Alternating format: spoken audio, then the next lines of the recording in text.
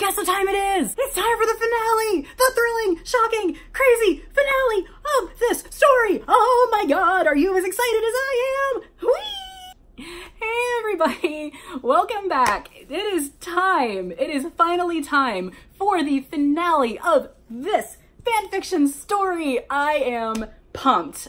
I wanted to plan a special outfit for today, but we're going with Sailor Moon because why the fuck not? I, like I said, I wanted to like go all out for this, but so I'm going to read, I'm going to paraphrase a little bit, but I want to try and like, you know, get in the details because this is like what the whole story has been all about. I'm going to leave in a little bit of the details and then I'm going to give my final thoughts. Oh my God, here we go. I am ready. I am so ready. Holy fuck.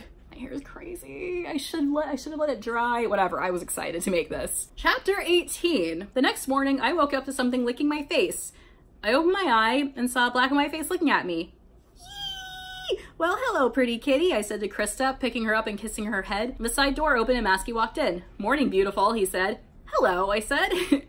I looked at the clock on the wall. It was three in the afternoon. Oh, wow, I've been asleep for a long time, I said. Yeah, Everyone is just starting to wake up, Masky said. I need to get ready. The show starts at 6 and I have to be there early to set up, I said. I hopped out of bed. Masky laughed. You didn't even bother to change, he said. It was like 2 in the morning by the time we got back, he said. I said. He laughed.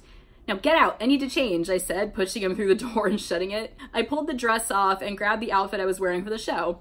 I pulled on the black boots and pulled up on the lace-up boots. Krista batted at my laces and hissed at them. I laughed. You are just adorable, I said. I grabbed the top and pulled it off the hanger. One of the side doors opened again. hey, Naomi, can we talk? Jeff asked, walking in. He stopped and looked at me. He covered his eyes. I quickly covered myself with my shirt. Ever heard of knocking? I asked.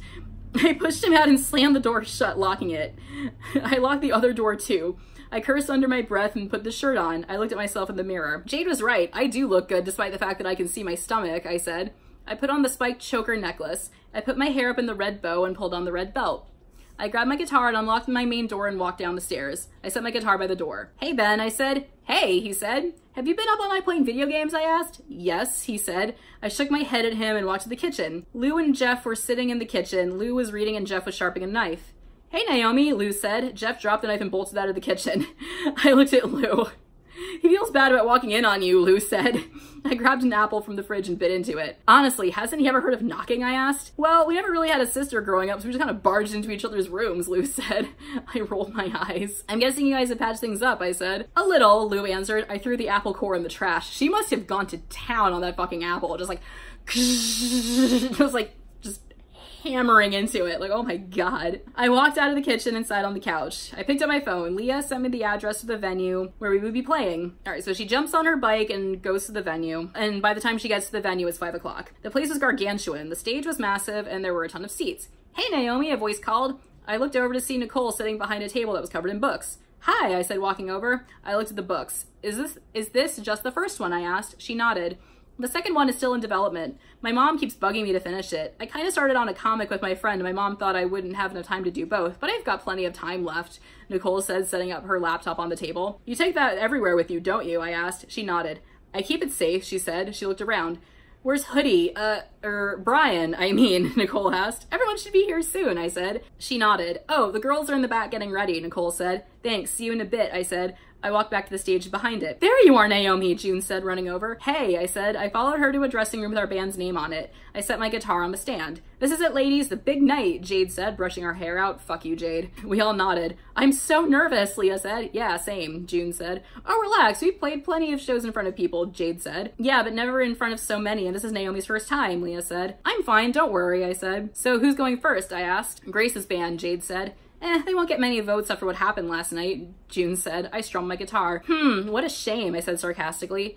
The girl snickered. A man with blonde hair, glasses, jeans, t-shirt, and clipboard walked in. All right, ladies, it's almost showtime, he said. Oh, Naomi, this is our producer, sponsor, and all that other good stuff, Nathan, Jade said. Hey, I said. What a pleasure to finally meet you, Miss Jansen, Nathan said. Are the effects for the last song in order, Leah asked. Yes, they are. Explosions and all, Nathan said.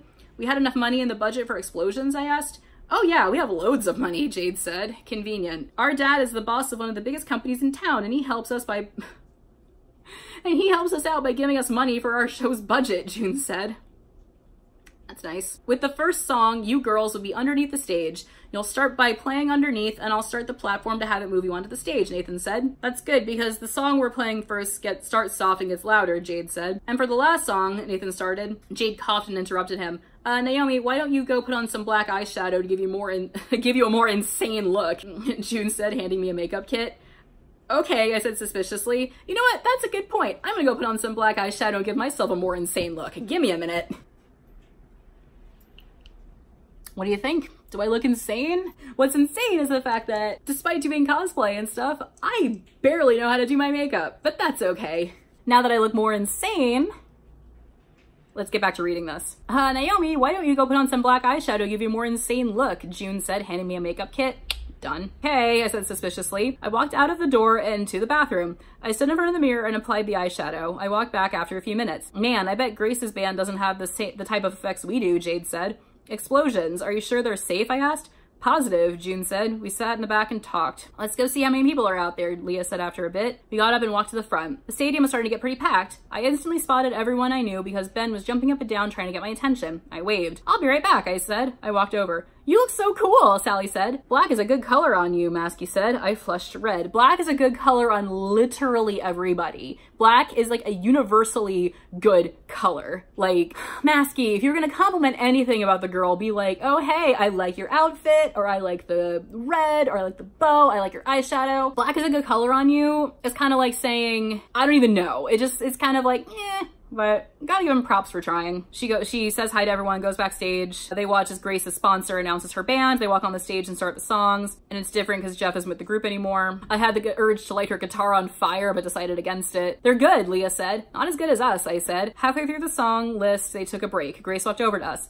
What do you think? Don't I sound amazing? She asked, looking at herself in the mirror. Yeah, you sound just like a dying cow, I said. Jade, Leah, and June snickered. Even some of Grace's band members laughed. Once we win, Jansen, you and your band will be cut from the ranks, Grace said, walking away. Forget you! I yelled after her. We walked down back to our dressing room and sat down. I tuned my guitar. This is going to be one of the best shows we played, Jade said. You bet, Leah said. I could hear Grace's band playing again, and the crowd cheering. After 30 minutes, Nathan walked in. Okay, girls, start heading to the stage's elevator, he said.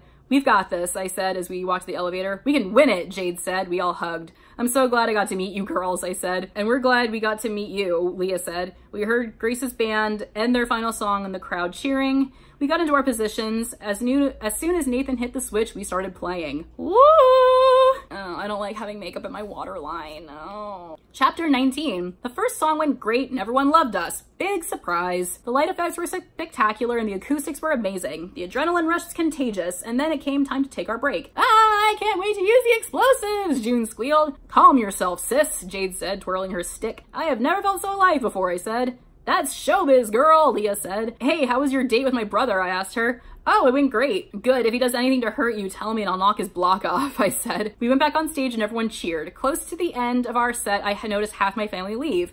I frowned but kept going. The last song we played was Monster by Skillet and the fire effect for that was great. At the end, I thanked everyone for coming and walked off stage, but I noticed the girls weren't with me. Uh, hey guys, how would you like to, how would you like an encore song? June asked into her mic. The crowd roared and cheered. I froze. What was she up to, I thought. Let's get our fearless leader back on stage, Jade yelled. Everyone cheered my name. I walked back on stage. What's going on, I asked. You'll see. Just start playing the beginning of What Have You Done, Leah whispered. I nodded and played. Fog covered the stage as I played. Does your heart know that I'm alone? I sang softly at first, gradually growing, and then the greatest thing happened. I heard another guitar playing. I looked around and saw none other than Ben playing on a guitar next to me. He gave me a cheeky grin. I smiled and kept going. Then I heard a boy's voice. I know I better stop trying. You know that there's no denying. I won't show mercy on you now. Masky had joined in singing into the microphone next to me. I know I should stop believing. I know that there's no retrieving. It's over now. What have you done? What have you done now? I've been waiting for someone like you. But now you are slipping away. What have you done now? Why? Why does fate make us suffer? There's a curse between us, between me and you. I kept on rocking. The fire started up again as Jeff stood next to me singing his heart out. I couldn't believe they did this. Everyone was loving it though. Would you mind if I killed you? Would you mind if I tried to close you in? Turned into my worst enemy. You carry the you carry hate that I feel. It's over now. What have you done? What have you done now? I turned up the guitar amp just a bit to make things more exciting. Then a soft flute started playing and Sally stood next to Ben. The drums grew louder and Matt Hoodie was back playing a second drum set with Jade. I will not fall, nor let it go. We will be free when it ends. I've been waiting for someone like you. But now you are slipping away. What have you done now? Why? Why does fate make us suffer? There's a curse between us, between me and you. I've been waiting for someone like you. But now you are slipping away. What have you done now? Why? Why does fate make us suffer? There's a curse between us, between me and you. Joshua had joined in at the last few choruses playing a bass with Leah, and Nicole was with June on the keys. I nodded to Nathan, who let loose the explosions and the fireworks. I smiled and got the craziest idea. People will think it's part of the show, I thought. My black wings appeared from my back and I flew a few feet in the air, rocking the guitar.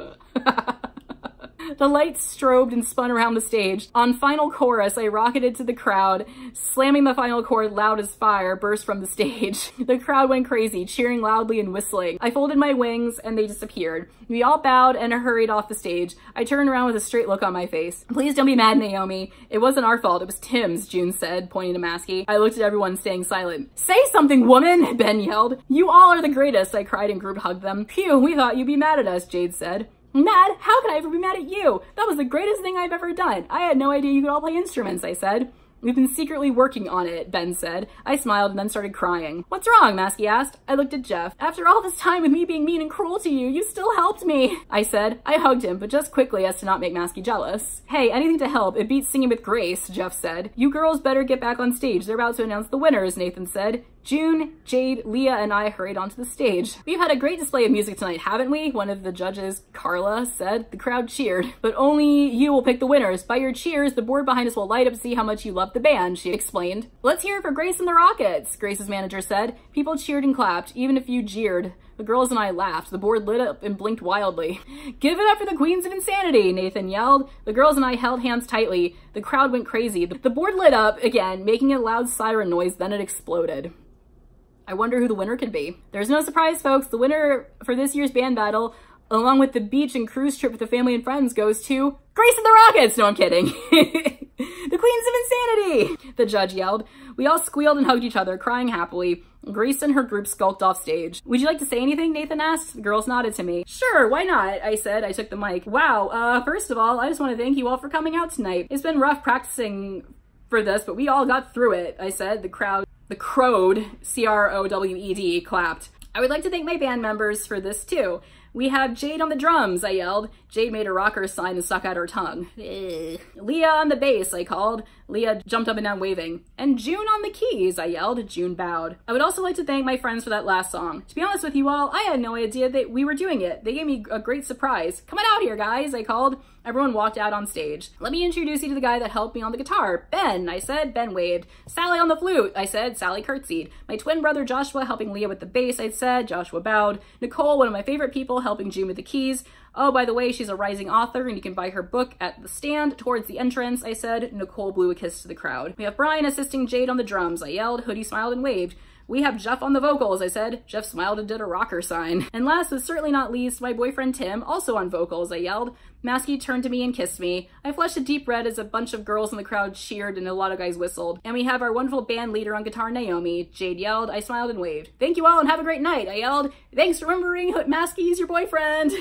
Chapter 20. We walked off the stage. Well, girls, it's been so fun. We should hang out after we all get a week's worth of sleep, Jade said. We all laughed. Hey, Joshua, can you do me a favor and drive my bike home, I asked. Lucky for you, I walked here, so yes, I can, Joshua said. Thanks, bro, I said. We could use you guys in the band, June said. Maybe for encores, Ben said. Deal, Jade said. I smiled. Oh my gosh, look at that line, Nicole yelled, running to her stand. I smiled. Well, girls, I'll be seeing you at school in a few weeks, I said. We hugged. See you later, Naomi, June said. It's been real fun. By the way, you should wear black more often. It suits you, Jade said. I laughed. I thought she always wore black. Thank you for everything, Leah said. You're welcome, I said. The gang followed me out. So, we get to go on a beach trip, Sally asked as we walked down to the street. Yep, I said. As we all walked, we all laughed and joked around. I'm glad Nicole got some business for her stand, I said. Yeah, she really is a great author, Masky said. You know what? Masky asked. What? I asked. I haven't been to a circus in forever. What made you say that? EJ asked. That big white van over there, she said. I froze and looked. There it was. Vladimir's Circus of Dark Monsters and Illusions. Oh no, I said. Oh no what? Jeff asked. Lately, everywhere I've gone, that van has been following me, I said. We all continued to walk. I looked behind me every few seconds to see it slowly following us. Then something quick, then something zipped past our heads. Quickly, everyone run, I yelled. We ran down the street, the van tailing us. Sally screamed as Annette ensnared her and EJ, dragging them to the van. I skidded to a stop and went to help, but remember Adrian's warning. Don't help, just run, she had she urged. I shook my head as ran as fast as I could. My black wings appeared again, and I took off into the air. Another net snagged Toby. Help me, Toby yelled. I stopped mid-flight and shot a fireball straight at the van, but it just kept moving. Is it made out of some fire-resistant metal, I yelled. I don't know, Jeff yelled. Masky and Hoodie were out of harm's way by teleporting every which way, trying to confuse whoever was trying to kidnap us. Clayton, I know you're the fastest out of all of us. If we get caught and you don't, tell Slender Dad what happened. I yelled. Clayton nodded, dodging a net. Out of the corner of my eye, I saw a net got Jeff. He instantly cut it away with his knife. Jeff, help! Lou yelled. Lou had been ensnared. Lou, hang on, Jeff yelled. I threw another attack at the van to try and slow it down, but nothing worked. As Jeff was trying to save Lou, a net snagged him too, but this one was made out of wire. I can't cut through, Jeff yelled. I watched as they both got dragged away into the van. I dodged, I dodged as an electric net went by my head. Brian, no! Masky yelled. Annette had gotten Hoodie. Whoever was in the van had recognized Masky and Hoodie's teleport patterns. I flew down and grabbed Masky and flew up just as Annette landed where he had been standing. Clayton, get help, I yelled. Got it, he yelled, dodging nets left and right. He veered off into the woods. I dived and ducked as more electric nets tried to ensnare me. Naomi, you can't do this forever and hold on to me, Masky said. He was right. With the last net I dodged, I lost my grip on him and he fell. I screamed as a net caught him in midair and the van took him. I dodged more nets and burned more that got too close. I flew faster, trying to get into the woods, but I felt something prick my leg. I cried out in pain and pulled out whatever hit me. A tranquilizer dart. I felt woozy but kept going. I wasn't about to get caught. More darts hit me, but I shook them off and kept going. A loud noise, like a cannon going off, sounded, and a ball and chain wrapped itself around my legs, bringing me to the ground. No! I yelled, flapping my wings as hard as I could to try and get away. But a dart hit me right in the chest, and I lost all consciousness and collapsed as a net fell over me. When I woke up, it was dark and I couldn't see a thing. Hello? I called. I heard circus music playing. And now, ladies and gentlemen, what you've all been waiting for, the one thing you can't see anywhere else, the demon girl Naomi, a man announced. The curtain was pulled up and light invaded my vision. I blinked and looked around. I was in a cage in the middle of a ring, and uh, around me, all my friends were in cages too. I gasped. A man holding a staff, wearing a tailcoat, top hat, black pants, and leather shoes walked over to my to my cage. Welcome to the circus, kid. You're in my world now, he said, laughing maniacally. And that, my friends, is the end of the book. As per tradition, this book ends on a cliffhanger. We did it! We got through it! Woo! Whew! That was, that was an endeavor. That was something. Holy moly. Whew! Okay, so we all knew that they were going to win the band battle. Like, that's just obvious, considering how self-serving this book is. We all knew that they were going to win the band battle. I understand, like, why she was hyping it up, but at the same time, like, like there was no way that she couldn't have won the band battle. It might have been, like, a funny twist, like, if Grace did win, but Grace is, like, the generic bully character, and, you know, we can't have those winning, can we? I don't understand why she decided to do this whole circus subplot thing when she could have been elaborating more on Zalgo. Because Zalgo is obviously a very important part of the story because he has a lot to do with her identity and why she is the way she is. And we never figured out what happened to her demon self. Uh, what the fuck was her name? Nerissa. We never figured out what happened to Nerissa, you know?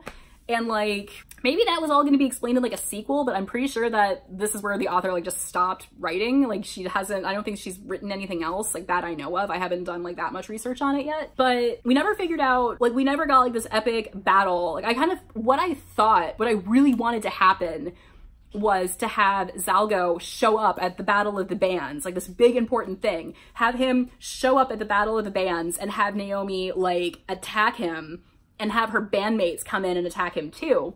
And then have her be like, hey, this is what I am, uh, take it or leave it, but this is what I am. I've been trying to keep it from you guys to protect you, blah, blah, blah. Like, it, it could have been something like that. Like, that would have been redeemable at best. But I don't know. I feel like it's kind of, I feel like it was kind of stupid to, like, even involve, like, a whole, like, I will, like, take your power and, uh, like, like not finishing that, it, it was it was like a cop out. And the fact that like, you know, narissa like didn't come back to Naomi, I feel like that was also kind of a cop out too.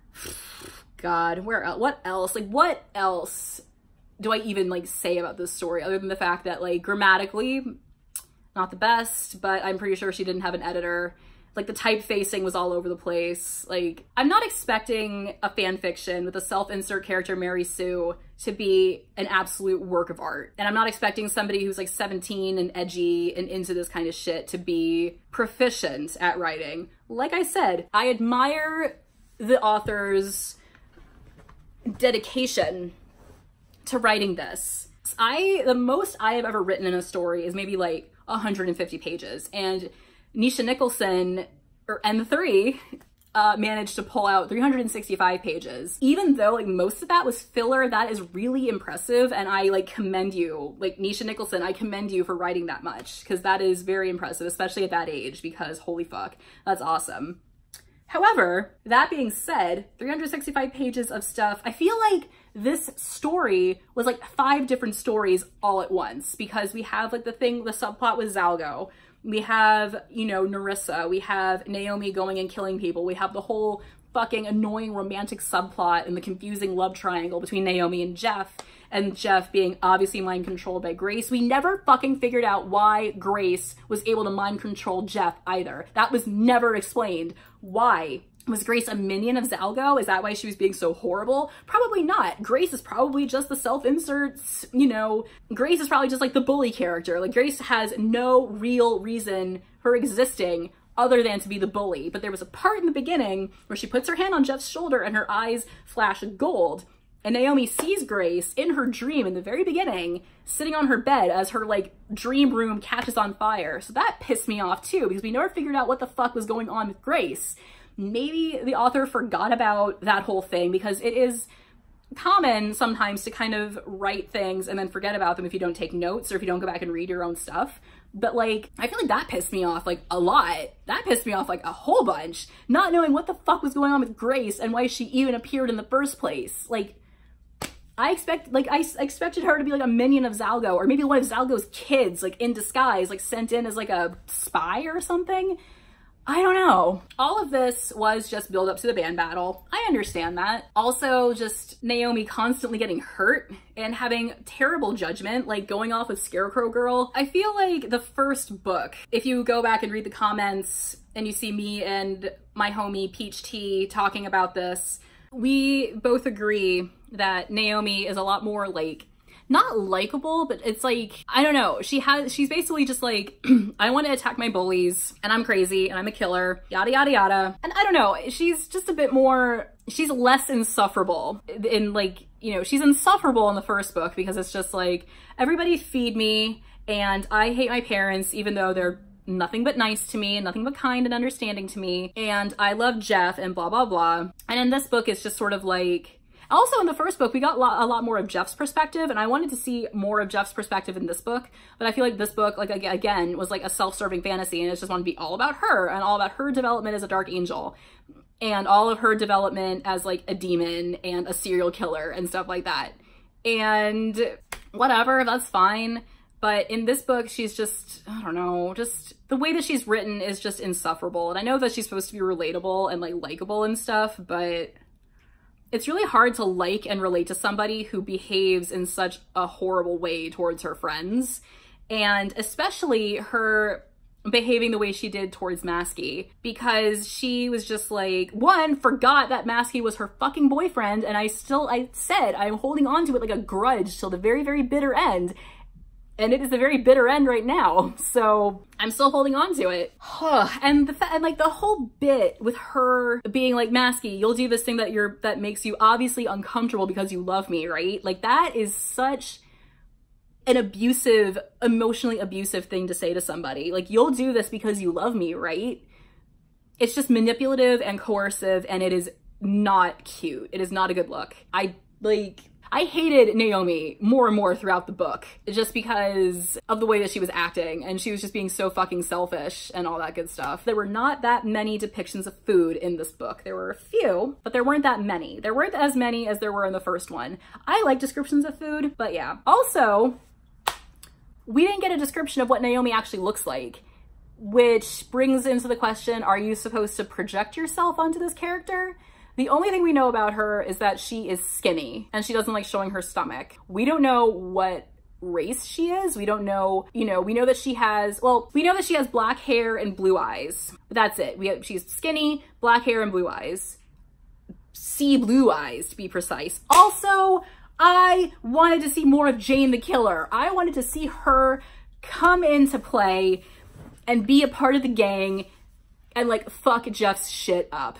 I might have to write a bad, bad fan fiction about that because that would be amazing. I am mad that the thing with Zalgo never got resolved. I am mad that we never figured out what the fuck Grace was other than a bully.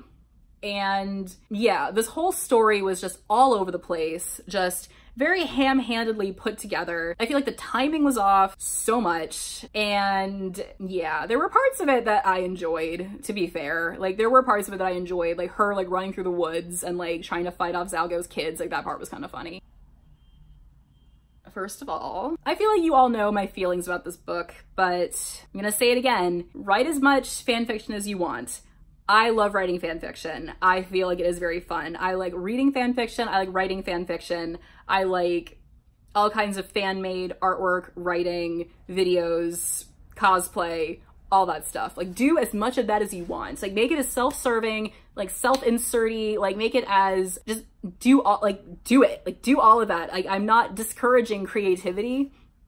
The only thing I am discouraging is glorifying mental illness because you think it'll make you cool on Tumblr or something. Like it's cool to be psycho.